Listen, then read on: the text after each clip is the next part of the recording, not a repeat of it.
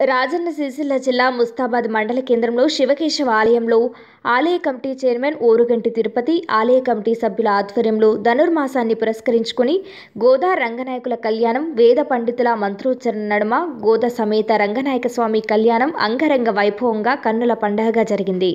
భక్తులు పెద్ద సంఖ్యలో పాల్గొని స్వామివారి కళ్యాణాన్ని వీక్షించారు. ఈ కార్యక్రమంలో గ్రామ ప్రజలు భక్తులు తదితరులు పాల్గొన్నారు.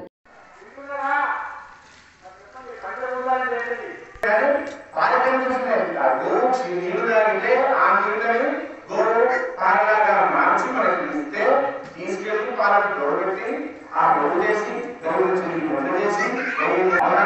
ఏదైనా ఏదైనా నీళ్ళు నిప్పు. మరి గాలి ఉంటేనే కదా నిప్పు నిప్పు. వేడి గాలి ఎక్కడికి వెళ్తుంది? ఆకాశంలో అదేనా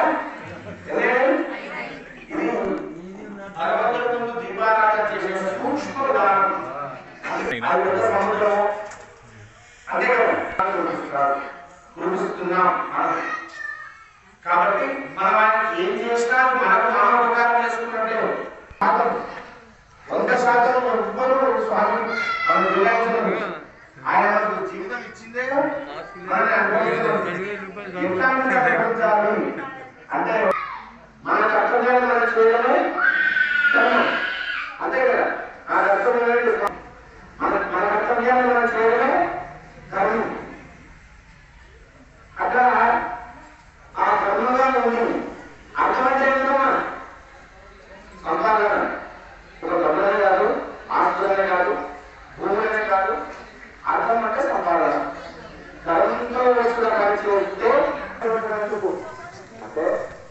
ఉత్సవాన్ని మనం ఇక్కడ ఉంటే కష్టాన్ని దొరకడం వారి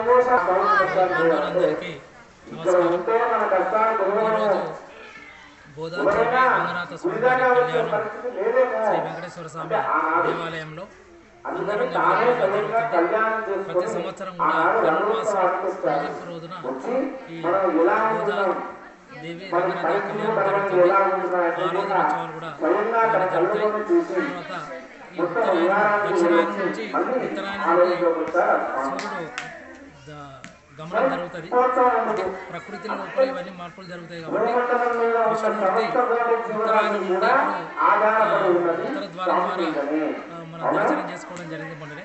కాబట్టి లోక కళ్యాణార్థం అందరూ కూడా భగవత్ కార్యక్రమంలో పాల్గొని మనం అంతా కూడా ఈ కరోనా మహమ్మారి అది కూడా భగవంతుడు ప్రజలందరినీ సుఖ సంతోషాలతో ఉంచాలని చెప్పి దేవుని ప్రార్థిస్తాను.